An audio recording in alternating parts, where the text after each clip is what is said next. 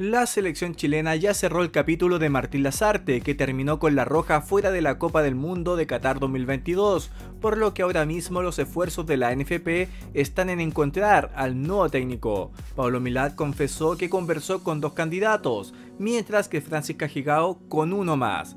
El primero se trata de Sebastián Becachese, actual entrenador de Defensa y Justicia, y su estilo es cercano al de Jorge Sampaoli, sumando bonos para tomar el cargo. Otro candidato es Ariel Holland, campeón con la Universidad Católica en 2020 y actualmente está en el León de México, donde no la está pasando muy bien debido a una seguidilla de malos resultados. El último es Matías Almeida, quien está al mando de San José Utquay de la MLS, opción que se reactivó debido a que estuvo en la mira de la Roja. Almeida cuenta con una cláusula de salida y la idea de la NFP es negociar dicha cláusula.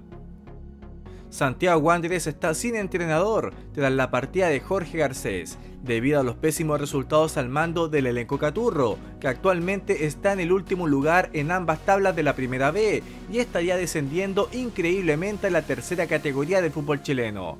Pero según a la información del medio de encancha, los porteños ya encontraron a un nuevo entrenador, que tendría como primer objetivo evitar la pérdida de la categoría y si es posible pelear al menos un cupo a la liguilla para buscar el segundo ascenso. El elegido sería Miguel Ponce, que actualmente está al mando de Jorge Wilstermann de Bolivia, donde ha tenido un pobre rendimiento donde en 7 partidos en la actual temporada solo suma 2 triunfos, un empate y 4 derrotas, siendo penúltimo en el grupo B del torneo de apertura. El fútbol chileno vive un momento tenso con el sindicato de árbitros, quienes hicieron un llamado a paro tras el despido de 11 jueces por parte de Javier Castrilli, que está al mando de la comisión de árbitros. Ante esta situación, Paulo Milad, presidente de la NFP, salió a respaldar a Castrilli y anunció que podrían venir extranjeros a dirigir la novena fecha del campeonato nacional, señalando lo siguiente.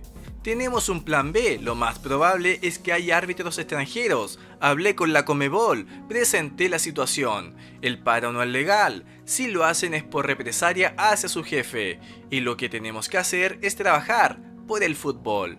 Además criticó a los jueces por querer paralizar el fútbol, debido a que aseguró que tenían un acuerdo para tratar este tema cara a cara.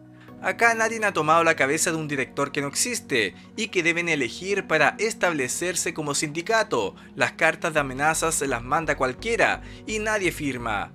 Quiero que alguien dé la cara para conversar. No pueden hacer un paro porque no les gusta el jefe o porque sacaron a sus amigos.